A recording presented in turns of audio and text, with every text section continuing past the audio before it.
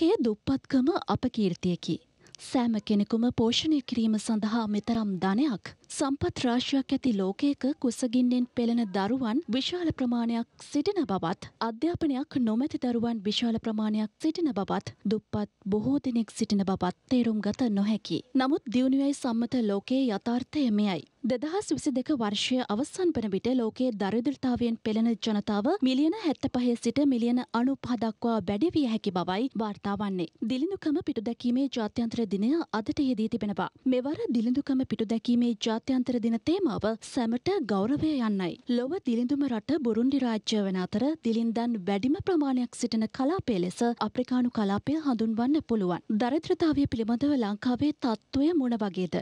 ආච්චිලාගේ සියලාගේ කාලේ ඉඳන් දැන් අපේ රට සංවර්ධනය වෙමින් පවතින රටක්. අවුරුදු හැත්ත හතරක් පුරාවටම ශ්‍රී ලංකාව තවමත් සංවර්ධනය වෙමින් තමයි පවතින්නේ. අද පෙරපිට අවුරුදු හැත්ත හතරක් අපේ රට පාලනය කරපු පාලකයෝ අපිව වට්ටලා තියෙන්නේ අන්ත දුක්ඛිත තැනකටයි.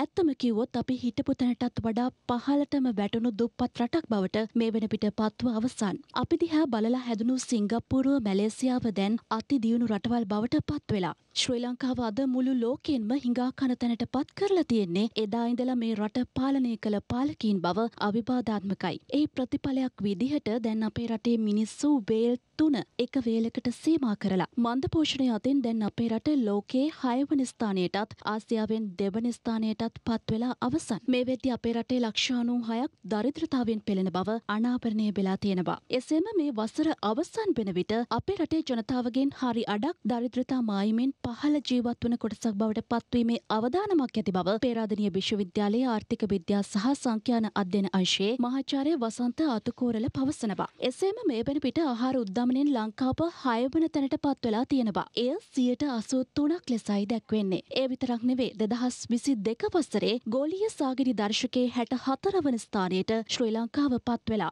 මෙවර සාගිනි දර්ශකයට ලොව රටවල් එකසිය බිසි එකක් ඇතුළත් වී තිබෙනවා. ඒ අනුව ලක්කුණු දහතුනයි දශම හයක් හිමිකරගත් ශ්‍රී ලංකාව මෙම දර්ශකයට අනුව සාගින් අතින් මධ්‍යස්ථ මට්ටමෙයි පසුවන්නේ. ඉකුත් වසරේ සාගිනි දර්ශකයේ ශ්‍රී ලංකාව රටවල් එකසිය දහස්සයක් අතරින් හැට පස්වන ස්ථානයේ පසුනේ. වාර්තාපිට වාර්තාතියමින් මේ රට යන්නේ අන්ත දුක්ඛිත තැනකටයි. ඉදිරියේදී මේ තත්ත්වය මීට වඩා නරකතට හැරෙන්න පුළුවන්.